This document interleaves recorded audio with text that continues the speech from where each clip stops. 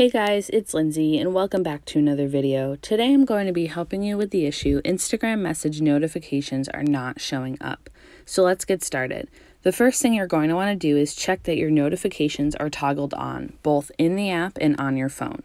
So log into your Instagram app and go to the bottom right hand corner where your profile picture is.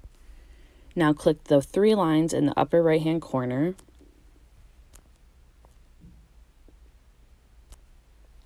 Now press Settings.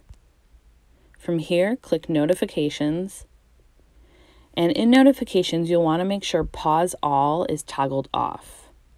And then we can go down to the middle of the page and click Messages just to make sure that everything is clicked on. So message requests, messages, group requests, and video chats are all toggled on. Now we can go to the settings of our phone and check that Instagram notifications are toggled on. So go to the main page in settings and scroll all the way down to where it says Instagram. Now click on notifications towards the bottom of the page and make sure that's toggled on.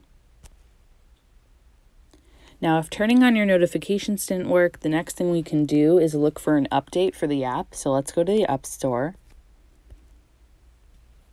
Type in Instagram at the top search bar. Now, to the right of Instagram, if it says open, that means your app is fully up to date. If it says update, that means you're in need of an update. And we update our apps to get rid of any bugs or lags that the last update may have had. So go ahead and update your app. If toggling on notifications didn't work and updating didn't work, the next thing we can do is offload the app. So let's go to the settings, go back to the main page. From here, you're going to click General and from here, you're going to click iPhone storage. You're going to scroll down to where it says Instagram. And you're going to click on Instagram.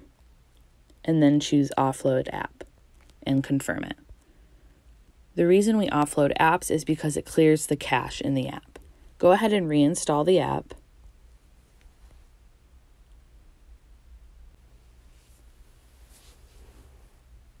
All right, and you have successfully offloaded your app.